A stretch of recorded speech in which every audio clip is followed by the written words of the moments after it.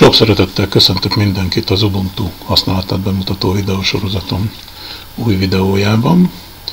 Nézzünk egy kicsit a múltba, nézzük meg, hogy mi az, amiket már megtanultunk. Ugye ehhez az egyik legjobb eszköz a MyBuntu weboldalon. Ugye itt az oktatás fülre, ha kattintunk, illetve oktatás menüpontra kattintunk, és az Ubuntu Linux videókat megnézzük, hogy akkor látjuk, hogy most már úgy ö, 9 videón vagyunk túl. Ugye a nulladik az elvben a telepítőkészletnek az elkészítését mutatja be még Windows 10-es környezetben, a többi viszont már ugye mind Ubuntu-s környezetben van. Ami itt ugye a legfontosabb elemek, az a telepítés volt, aztán a frissítés, ugye, amit aztán elég sokszor használunk is, ugye erre azt mondtam, hogy napi szinten nem árt, ha ezzel foglalkozunk. A beállítások, ugye ha az ember egyszer beállítja rendesen a számítógépét, akkor utána további problémái már nem nagyon lesznek vele. Testre szabás, ugye itt alapvetően a saját munkakörnyezetünk volt, hát a kettő elem, az ötödik és hatodik elemet visszük egy picit tovább. Megtanultunk már telepítgetni, ugye tudjuk mi az a szoftverközpont, tudjuk mi az a ö, APT tároló, megismerkedtünk a Snap tárolókkal is, és ugye a, az idegen forrásból származó APT csomagok formájában, Debian csomagok formájában elérhető szoftvereket is megtanultuk telepíteni a GDebi csomagkezelő használatával. Én most ide valahova a 5-ös, 6-os pont környékére térnék egy picit vissza. Létezik egy fogalom, aminek a neve GNOME Tweak Tool. Ez tulajdonképpen egy eszköz arra nézve, hogy hogy lehet finomabban, hoppel is a tweaket elértem, elírtam elnézést, hogy lehet egy picit finomítani az Ubuntu beállítási lehetőségeit. Ugye a beállítások program azért elég sok mindent megmutat nekünk, lehetőséget biztosít nekünk elég sok mindenre, a hálózatoktól ugye emlékezzünk rá, az értesítéseken keresztül a nyomtatókat, egyebeket, viszont a felületünknek az igazi szép finom hangolására azért nem ad megfelelő eszközöket. Na erre lesz jó, elnézés itt a jogosítványokkal kapcsolatos dolgokat én beállítom, illetve az adatgyűjtéssel, elfogadom itt a beállítottakat. No, a Tweak Tools tulajdonképpen egy olyan eszköz, amit a GNOME azért fejlesztett ki, hogy a GNOME felületeket sokkal precízebben, sokkal finomabban tudjuk ö, hangolni. A GNOME Pick Tool elérhető a GNOME, illetve bocsánat, a Debian tárolóiból, és hogy itt a GNOME dokumentációban is látszik, illetve itt az ITS Force nevű oldal dokumentációjában is látszik, ugye egyszerűen a GNOME letelepíthető az APT tárolók segítségével. Hát akkor nosza rajta, indítsunk egy parancsort, és már megyünk is. sudo apt install GNOME, na nézzük mit tud erről. Van egy DOM Tweaks, meg van egy DOM, GNOME Tweak Tool. Hát nézzük mi ez a Tweaks első körben. Ugye kéri a jelszavunkat. Na nézzük miket fog telepítgetni. Azt mondja, hogy ha ugye van néhány felesleges csomag, ezt majd az Auto Remove-val a végén rendezzük. Telepíteni fogja a Chrome GNOME Snell csomagot, illetve még ezt a két darab csomagot, és javasolja, hogy vagy a Chromiumot, vagy a Chromium browsert is telepítsük. Hát első körben maradunk annál, hogy ő mit szeretne telepíteni.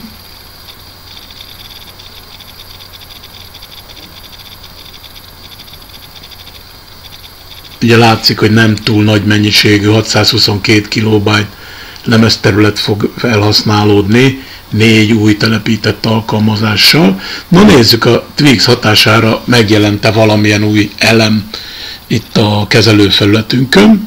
Ugye itt még a segédprogramokban lehetnek valamik. Hát, itt mindjárt meg is jelent egy elem, ez pedig nem más, mint a finom hangoló. Na nézzük, mit csinál ez a finom hangoló. Ugye arról volt szó a videó elején, hogy további lehetőségek, apró pici lehetőségek a kezelőfelület beállításában. Na nézzük. Ugye újabb 1, 2, 3, 4, 5, 6, 7, 8, 9, 10 területet kaptunk, amin keresztül tovább finomíthatjuk a beállításainkat. Na kezdjünk is bele gyorsan. Általános ö, szakaszban milyen lehetőségeink vannak. Az egyik az animáció. Megmondom őszintén, hogy én nem nagyon szeretem, amikor mindenféle animál. Van, akinek ez a mániája. Én azt szeretem, hogy a gép gyorsan és azonnal biztosítsa nekem azokat a szolgáltatásokat, amiket én el szeretnék élni. Nem arra vagyok kíváncsi, hogy mennyire szépen tud egy ablak megjelenni, bár még egyszer mondom, vannak, akik ezeket nagyon fontos elemnek tartják. Én ezt általában kiszoktam kapcsolni. Van még egy lehetőség itt, egy felfüggesztés, ha egy notes gép fedele le van hajtva, Hát ugye hát az energiagazdálkodáson belül voltak ilyen lehetőségeink, hogy mikor csináljunk fölfüggesztést, mikor ne csináljunk fölfüggesztést. Én egy notes gépet használok, én ezt most nem feltétlen szeretném, hogy így legyen, ezért ezt is kikapcsolom. De amennyiben szükségünk van rá, hogyha lehajtjuk a notes gépünket, akkor azt értelmezze úgy az operációs rendszer, hogy én most elmegyek a géptől, ezért egy felfüggesztést és ennek megfelelően esetleg egy zárulást is hajtson végre. Én ilyet nem akarok, úgyhogy ezt kikapcsolom. Ablak címsávok, illetve még ezt akkor is érdemes kikapcsolni, hogyha nem notes gépünk van. Na ablak címsávok, ugye az ablak címsáv ez a felső rész, hogy mi történjen itt dupla kattintásra, mi van, ha középső kattintással kattintunk egy címsávon, másodlagos kattintással, illetve mi van a címsor gombokkal, ugye maximális, maximalizálás, minimalizálás, itt látszik, hogy most az előbb itt szépen kikapcsolta a maximalizálást, minimalizálás gombot akarom, vagy nem akarom, tehát ezeket meg lehet tenni, illetve megmondhatom, hogy ezek a bal vagy a jobb oldalon helyezkedjenek el. Ugye a Windowsosok ahhoz vannak szokva, hogy ezek itt vannak a jobb oldalon, mint ahogy most is. Akik nem Windows rendszerről, hanem mondjuk Macintosh operációs rendszerről jönnek, a Macintoshban jellemzően az ablakkezelő gombok a bal oldalon vannak, mi most itt maradunk a ö, jobb oldalnál. Ablakok. No, az ablakokkal kapcsolatban is viszonylag több beállításunk van. Például ilyenek, hogy ablakszélekhez illesztés, új ablak középre helyezése, megmondom őszintén, ezt szeretem, nem szeretek mindig azzal kezdeni, amikor egy új ablakot elindítok, hogy akkor egy új programot elindítok, és megjelenik az ablak, hogy állandóan középre rángossam, vagy normális látható helyre rángossam a kis ablakát. Ez az egyetlen beállítással ezt meg tudjuk tenni.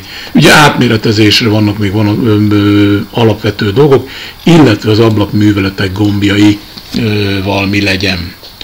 Ablakfókusz, szal kapcsolatos lehetőségeink vannak még itt beállításra. Én itt más nem bántok, ezt az egyetlen egy elemet szoktam bántani, hogy középre helyezem az ablakokat. Na, a következő viszont számomra egy nagyon kedves terület. Én megmondom őszintén, hogy nagyon sokszor zavarnak, hogy túl nagyok a betűk. Tudom, hogy vannak olyanok, akik még ezeket a betűket is nehezen tudják olvasni, mert apró betűk nekik. Hát akiknek túl kicsik ezek a betűk, ők egyrészt megnövelhetik, akár elég durván is. Ugye látjuk, hogy így azért már nem biztos, hogy minden tökéletesen el fog férni. Számomra ezek túl nagyok, és én szeretném, hogy több információt tudna megjelenni egy helyen, ezért én általában ezeket a betűket lekicsinyítem. Ugye a felhasználói felületen már láttuk, ablak címsávokban is lehet ezeket a betűket csökkenteni, illetve ugye a rögzített szélességű szövegeknek a betűit is lehet ö, csökkenteni. Ezek jellemzően például a ö, terminálban lévő betűk, és a dokumentumaink szövegét is én visszaállítom 9 pontra. Tehát ezt a kettőt, meg ezt az alsót én beállítom 9 pontra.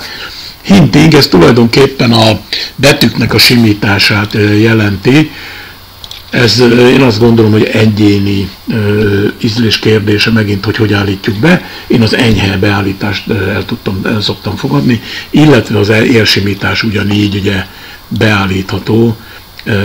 Én az alap esetet szoktam választani, tehát egyéb ilyen problémáim nincsenek. További lehetőség, hogy a megjelenő információk együttes növelésére is van, vagy együttes csökkentésére is van lehetőség, anélkül, hogy az egyéni beállításokat itt változtatnánk. Tehát lehetőségünk van arra, hogy minden egyes beállításnak valahányszoros szorzóval jelenítsük meg a nagyítását vagy kicsinyítését, hát én maradok az egynél. Billentyűzet és egér, beállítási lehetőségeket találunk még itt.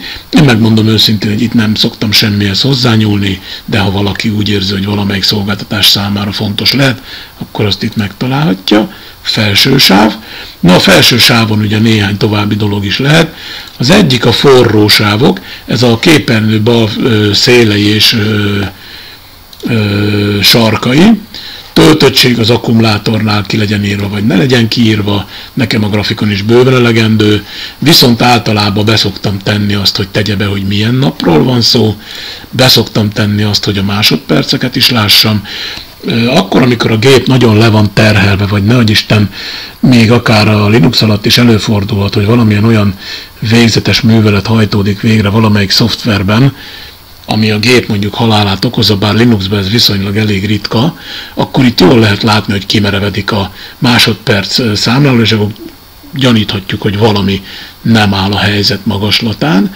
Illetve ugye, hogyha ide rákottintunk, akkor megjelenik a naptárunk, ugye alapból ezek a napokkal jelenik meg, de ha ezt az elemet bekapcsoljuk, akkor már a hetek is meg fognak jelenni, ugye itt elől ez a szám, ugye a 13, 14, 15, 16, 17, 18, ez hogy hanyadik héten járunk az évbe, én ezt általában szoktam használni, úgyhogy én ezt bekapcsolnám. Indítópulttal most egyelőre nem foglalkoznék.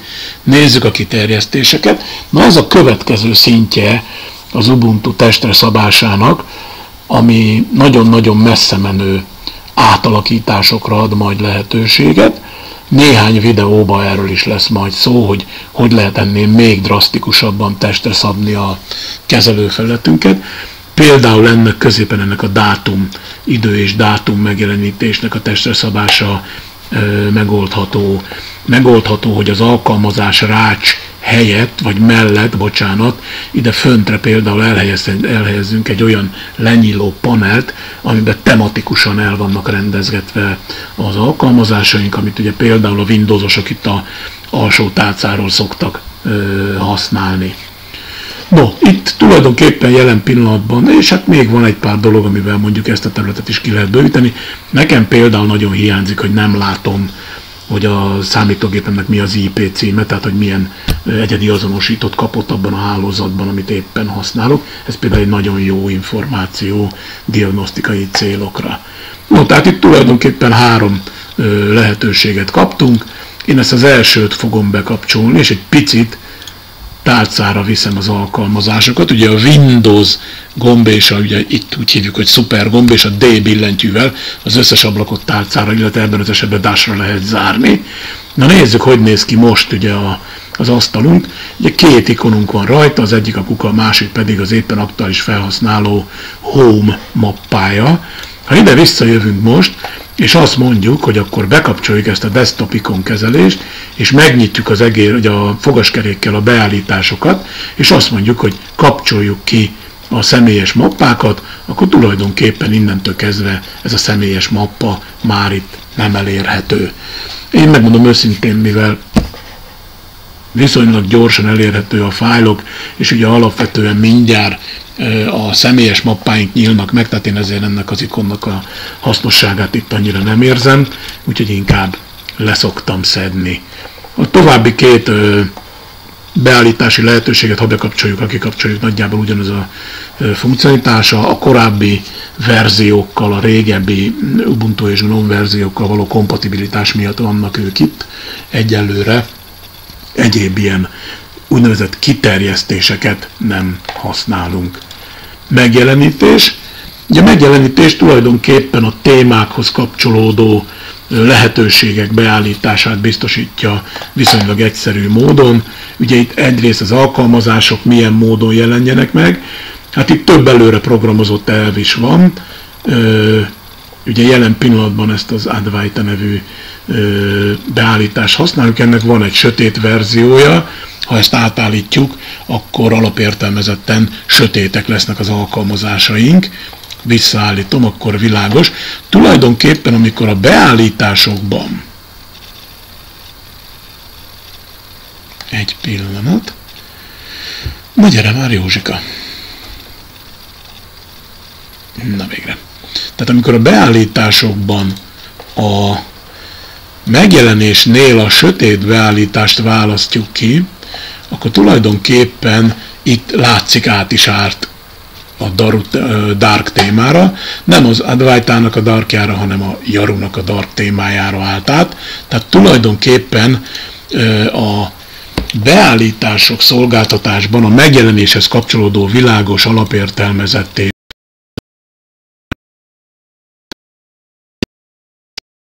állítgatják mindazt, ami itt beállítható egy, egyenként is.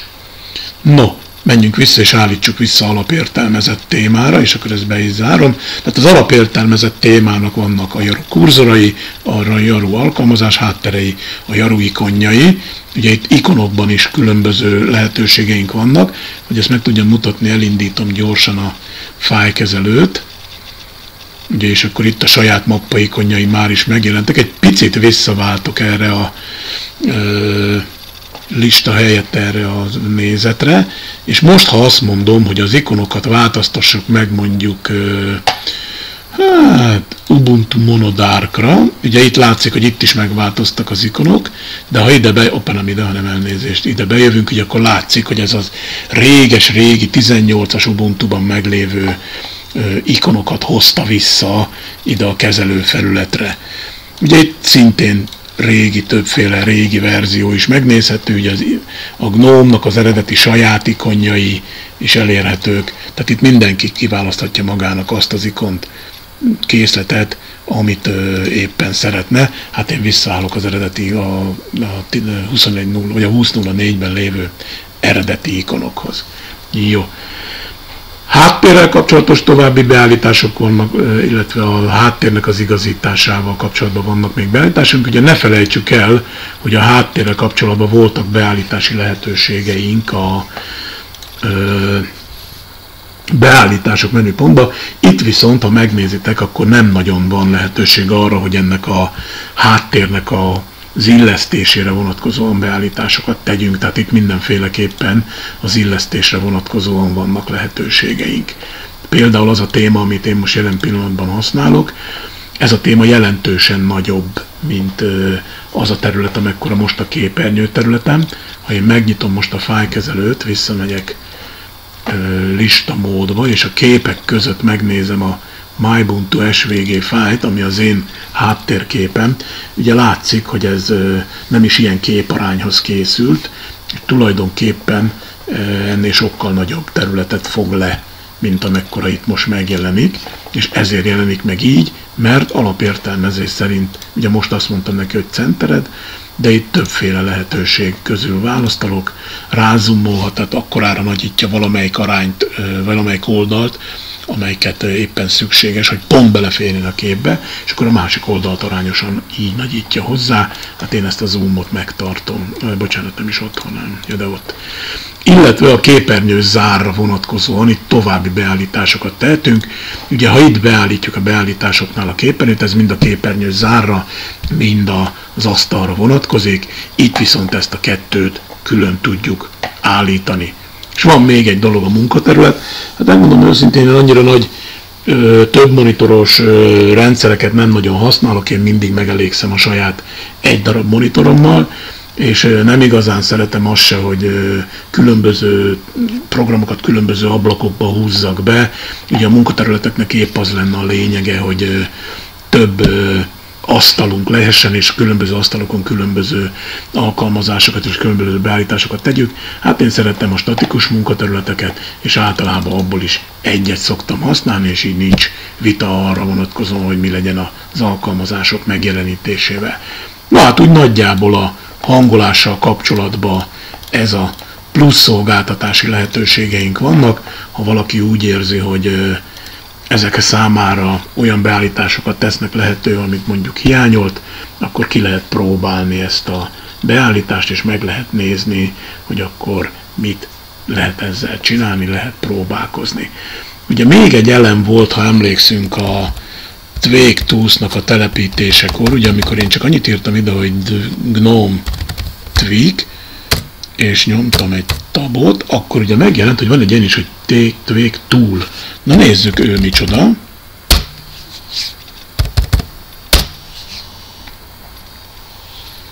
Ugye látszik, hogy itt is nem egy túl nagy mennyiségű állomány fog lejönni, de jön néhány további elem is. Na nézzük, ennek van-e érdemi változása a rendszerben? Hát van, ugye ezzel most már megjelent egy újabb elem, ez a kiterjesztés kezelés. Ugye itt visszamennék ide, ugye a finom hangolónál volt egy olyan rész, hogy kiterjesztések, és ugye itt két-három darab kiterjesztés közül választhattunk.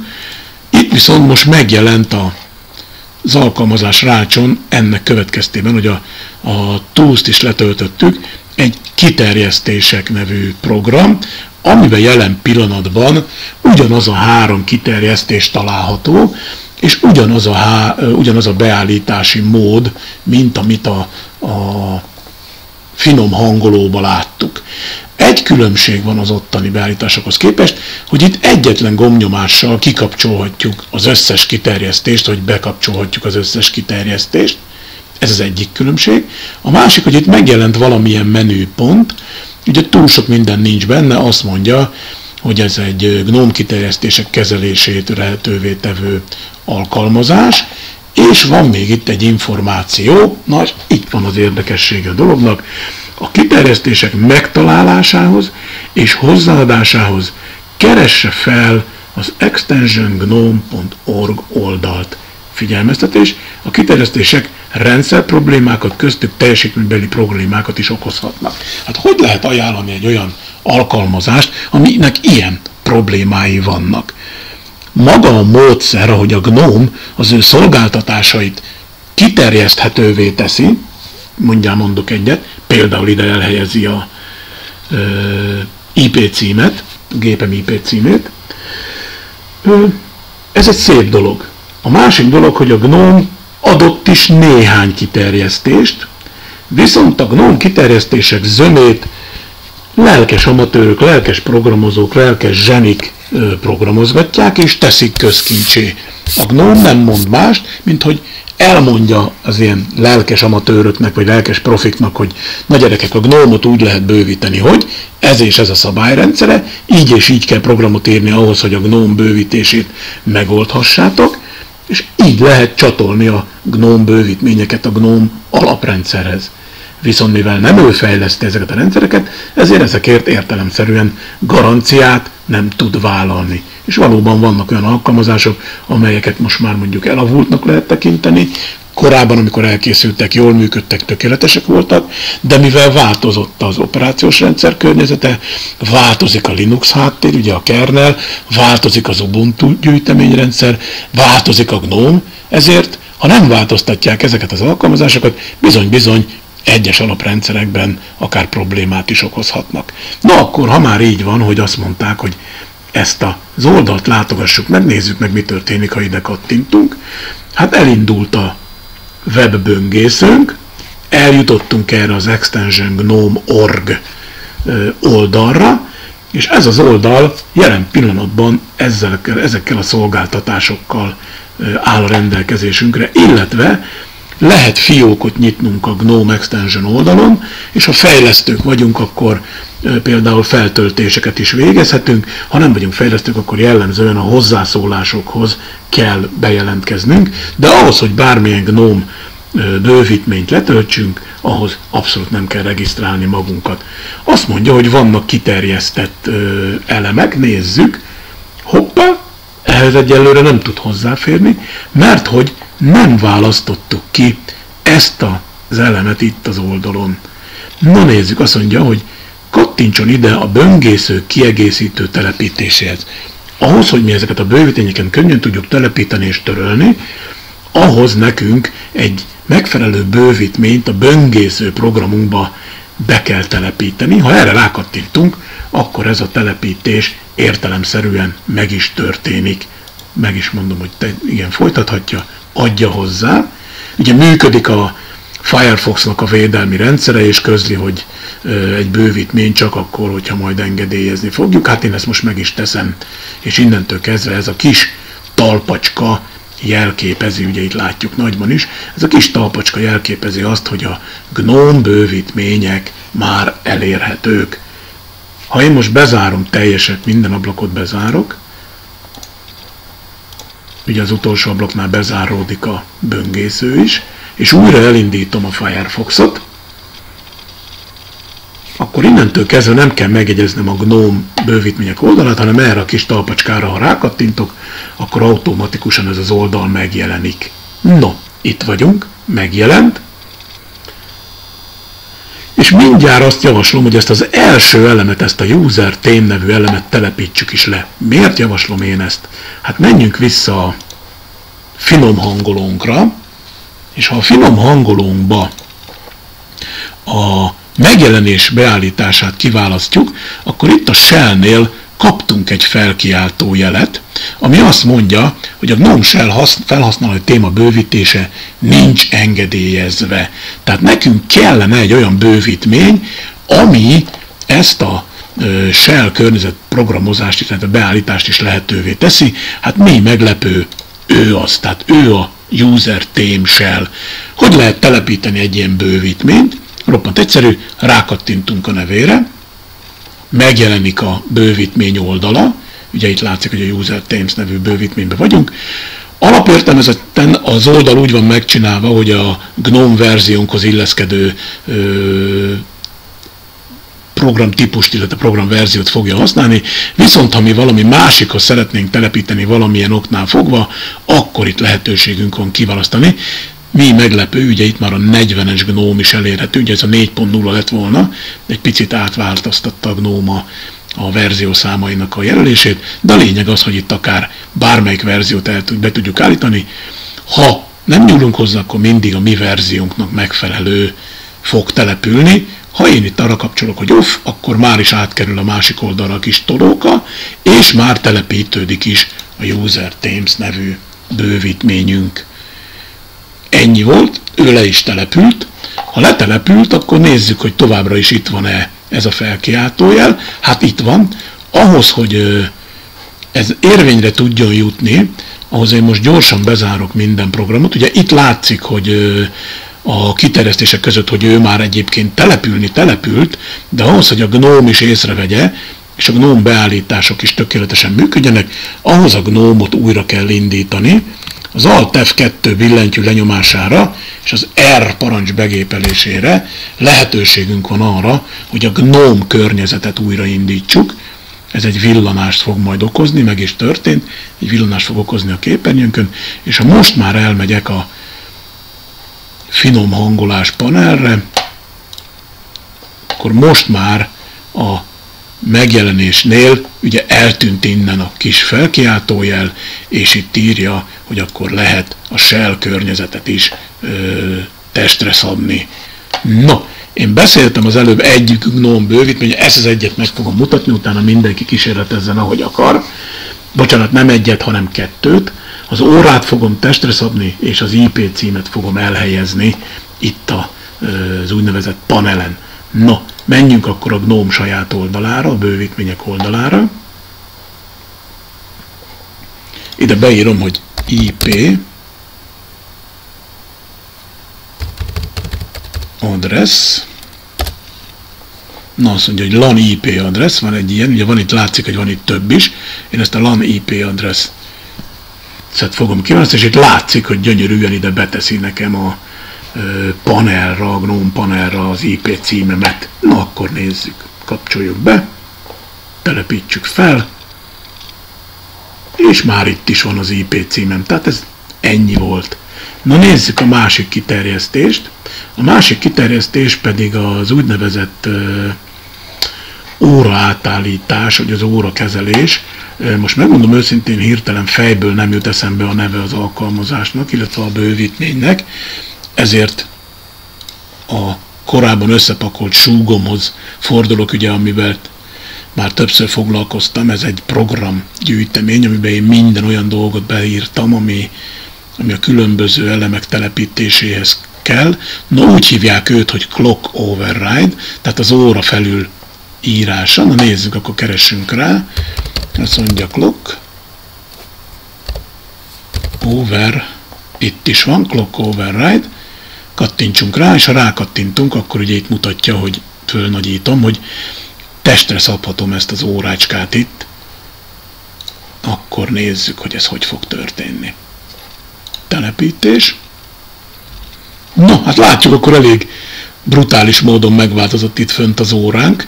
Hát normális ember nincs, aki azt mondja, hogy szerinte ez így teljesen tökéletes, ahogy ez itt be van állítva. Én sem ezt vallom, ezért az órát most gyorsan a kiterjesztésekkel szépen megváltoztatom.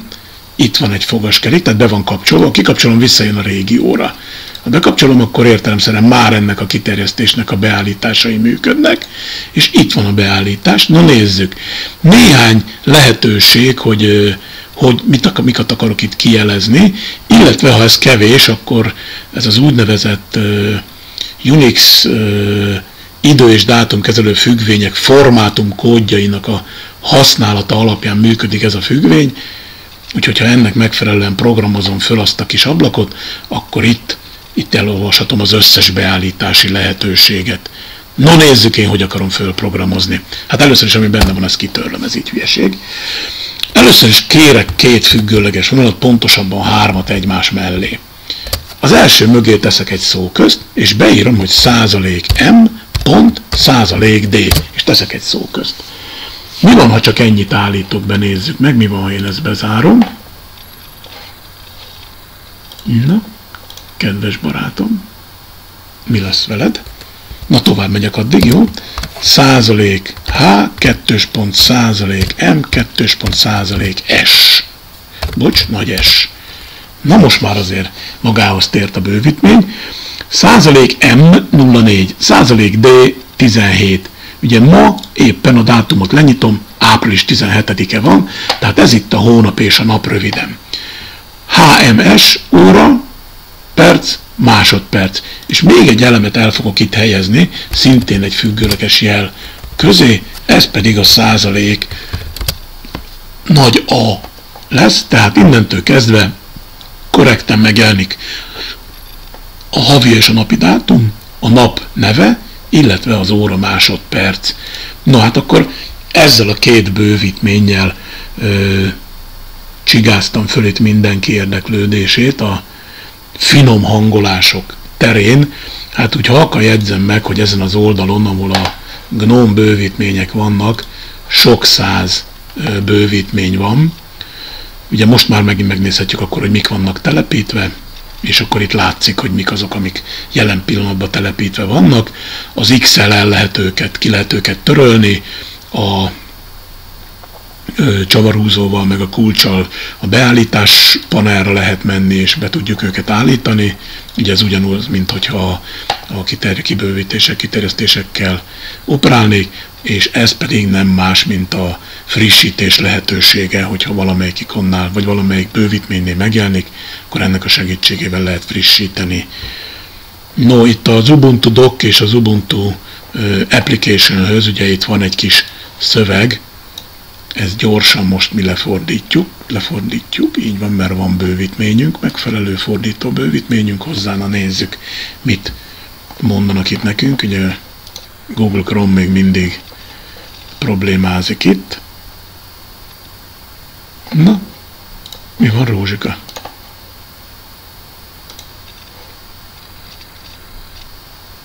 Na végre.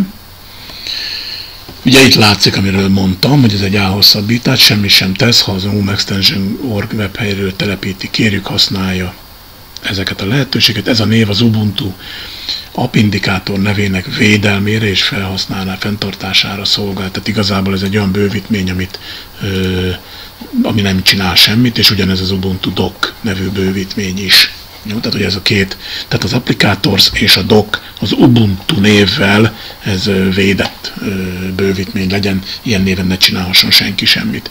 No, Egyébként, még egyszer mondom, tehát több száz bővítmény található itt. Megnézzük, meg ezen az oldalon van vagy 8-10 darab, és a 151. oldal, ez nem az utolsó, ja de bocs, az utolsó oldal.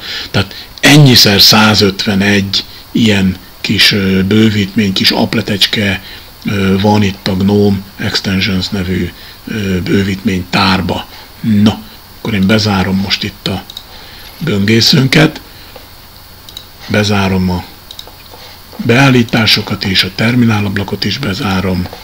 Ugye ilyen bővítményből én jó sokat szoktam föltelepítgetni, annyira sokat, hogy van egy kis weboldalam kifejezetten az ilyen kézi egyszerű telepítgetésre. Ez a kis weboldal az okis.hu per Ubuntu per extensions per brave.html oldalon érhető el. Én jellemzően Brave böngészőt használok, tehát nem Google Chrome-ot, nem Mozilla Firefox-ot, hanem a Brave-et, de mivel ezek sima HTML-es, tehát weboldalas kódolással vannak elkészítve ezek a hivatkozások, ezért az értelemszerűen bármelyik böngészőben működik. Hát ugye itt vannak az én GNOME Shell bővítményem, amiket jellemzően használok, például a GNOME Shell, a, a alt tabbal való váltásnak a beállításait, egy system monitort, ami ide elhelyez egy olyan kis kijelzőt, ami a processzor, a memória, a hálózat és a merevlemez terhelését mutatja, aztán horizontál spacing, ez az ikonok közötti távolságot szabályozza, egy OSD panel az azt mondja meg, hogy a különböző értesítések azok hol jelenjenek meg a képernyőn, clock override-ot már ismerjük, az IP adresszt ismerjük, és a Dashdoc szintén arra szolgál, ezt letelepítjük még, mert ez megint egy olyan elem, ami, ami tényleg nagyon jó pofa. Én most innen fogom meghívni a GNOME extension-t, itt is vagyunk, akkor ezt is ugye gyorsan letelepítem. Telepítés.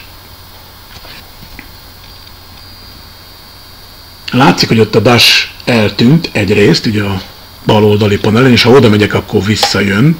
Tehát látszik, hogy másképp működik a dash. Egy picit visszaállt arra, ahogy eredetileg a GNOME kezeli a dash és le, leállt az Ubuntu-nak a, a fokálfosszában beállított dash kezelési módszere, mivel hogy ez a bővítmény vette át a hatalmat a DAS kezelése fölött. Na nézzük, akkor zárjuk be a lapokat, és nézzük, ugye mivel nincs semmi az asztalon, ilyenkor a DAS látható, hát akkor szabjuk testre ezt a kis furmányos DAS panelünket, jelenítsük meg az alkalmazásokat, indítsuk el a kiterjesztéseket, és ugye itt a DAS-nak a testre szabásának a lehetősége, ezt indítsuk is el. Hát sajnos a különböző bővítmények, különböző nyelveken való megjelenése azért nem annyira egyértelmű, mint a Ubuntu kezelő felület. Ugye még egyszer mondom, ezeket ö, saját egyedi fejlesztésbe különböző lelkes amatőrök végzik, vagy lelkes profik végzik. Hál' Isten a Dashdoc egy olyan bővítmény, ugye, amit ö, itt van, hogy ki hozta létre, egy Michael nevű úriember hozta létre ezt a az elemet, és ugye itt írja is, hogy ez a program semmilyen garancia nem jár. Tehát ha összeborítja a rendszeret, akkor tudomásul vetted, hogy összeborította, és ennyi. De a lényeg az, hogy nála a magyarítás azért megvan. Hát egy-két dolog, ugye hol helyezkedjen eladás, ugye, megfelelő gombokkal ez beállítható, nálunk maradjunk a bal oldalon intelligens automatikus elrejtés kérünk-e vagy sem, és ha kérünk, akkor az hogy történjen? Hát én azt mondom, hogy nem kérünk, tehát ne kezdjen el itt ugrabugrálni nekem, mindig legyen kintadás egyrészt. Másrészt, igenis, hogy húzza vissza addig, ameddig az eredeti ubuntu ez benne volt. Ugye a beállítások panelen, vagy a beállítások menüben, ha még emlékeztek rá, akkor én megtettem azt, a megjelenésnél, hogy 32 pixelre állítottam a, az ikonok méretét, ez itt ugye látszik, hogy valóban 32 pixeles az ikonunk, és azt mondom, hogy a rögzített ikon méret, tehát hogyha a Dash megcsinálja nekem azt, hogyha nem férnek el az ikonok az asztalon, mert annyi ikon, vagy a, a Dashban, mert annyi ikon van, akkor elkezd őket összenyomni. Én viszont azt mondom, hogy nem barátom, rögzített méret, ugye már el is értük ezt az állapotot, hogy nem férnek el, mert ugye ő, ő itt már alul kiló, vagy ő ott fölül már kilóg, ezért megváltoztatja a méretét. Nem, légy szíves húz ki teljesen, és kezd el őket így scrollozhatóvá tenni. Na nézzük, indítók. Ö, itt egy csomó mindent be lehet állítani, amit én a, ö, beszoktam állítani, hogy ne jelenjen meg itt a kuka, erre nincs szüksége, mert itt a kukám, és további dolog az, hogy ha én beteszek egy pendrive-ot, vagy csatlakozok egy ö, hálózatos eszközhöz, akkor az sem jelenjen meg itt a dásba, tehát ö, azt köszönöm szépen, úgyis el fogom érni a fájlokon belül. Tehát ezt a kettőt mindenféleképpen ki szoktam kapcsolni. Még egy dolog van, különböző gyors billentyűket lehet hozzárendelni, tehát azért lehet látni, hogy elég rendesen testre lehet szabni, és még egy ablak van, amit én szoktam használni, ez a megjelenítés panel, itt eltüntetem a nagy tereket adás egyes elemei között, lehetőséget biztosítok rá, hogy ezek a kis jelecskék, ezek ne alatta jelenjenek meg, hanem mellette és négyzetek legyenek, ne körök. Négyzetet gyorsabb rajzolni, mint kört. Egyrészt ez is tovább szabható lenne még, ha valakinek erre igénye van. Magának a dásnak a színét is testre lehet szabni, és én még egy dolgot szoktam tenni, hogy az aktuális program, amit éppen használok, az légy szíves egy picit egy ilyen körbekerített szürkével legyen megjelenítve. Tehát ezt szoktam még beállítani.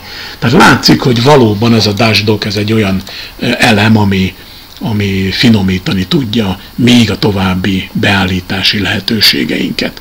Na, most már tényleg nem megyek tovább, itt befejezem.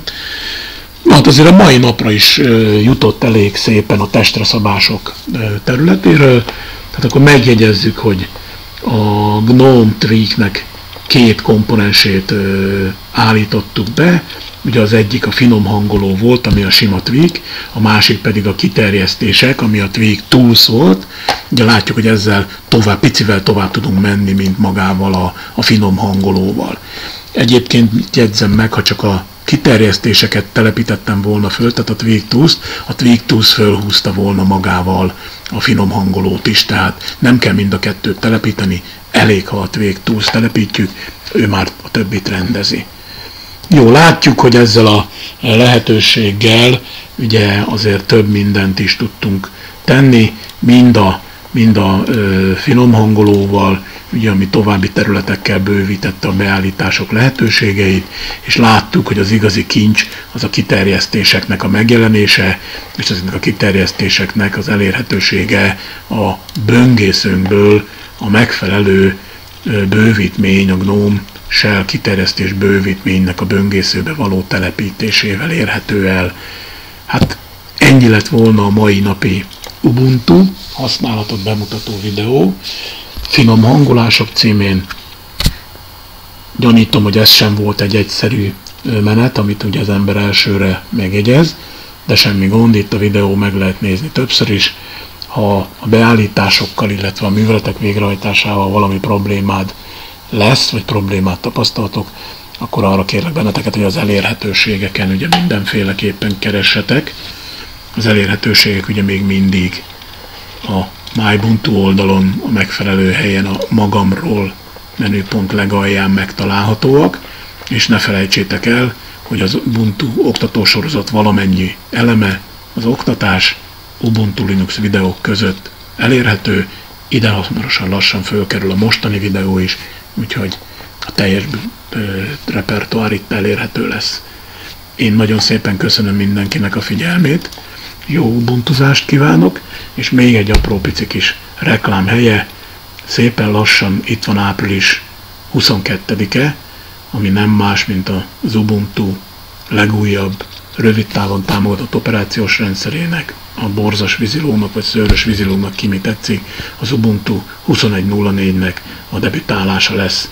Amikor megjelenik, abból biztos, hogy fog készülni egy videó, hogy a főbb szolgáltatásokat bemutassam, bár ugye aki a csatornámon jár, a YouTube csatornámon jár, ugye az pontosan tudja, hogy, á, most nem hívom be, a YouTube csatornámon jár, az pontosan tudja, hogy már egy előzetes alapján nagyjából áttekintettem, hogy mik azok az újdonságok, amik az Ubuntu legújabb rövid távon támogatott rendszerében elérhetők. Akkor tényleg elbúcsúzom most már.